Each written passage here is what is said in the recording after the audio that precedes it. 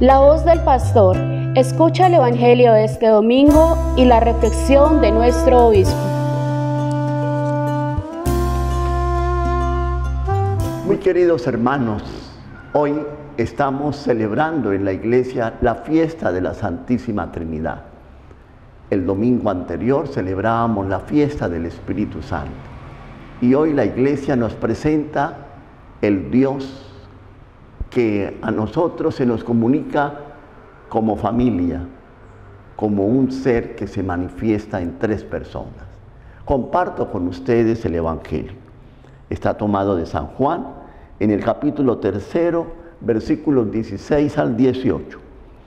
Tanto amó Dios al mundo que entregó a su unigénito para que todo el que cree en él no perezca, sino que tenga vida eterna porque Dios no envió a su Hijo al mundo para juzgar al mundo, sino para que el mundo se salve por él.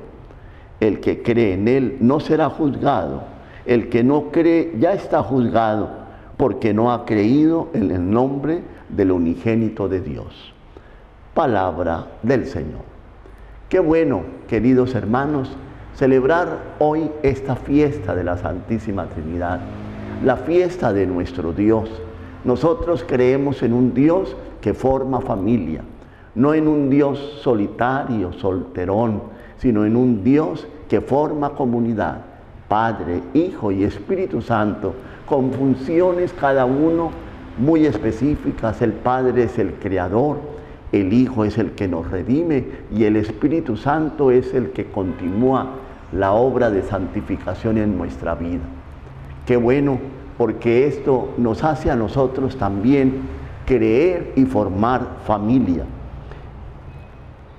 Ya nos decía el Evangelio, tanto amó Dios al mundo, tanto amó el Padre Dios al mundo que entregó a su Hijo único para la salvación nuestra. Por eso hoy llenos de alegría proclamamos esa presencia de Dios Padre, Hijo y Espíritu Santo.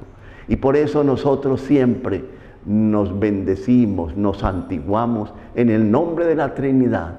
Y con esa santiguarnos, con ese bendecirnos, estamos haciendo presente al Padre, al Hijo y al Espíritu Santo que anima nuestra vida.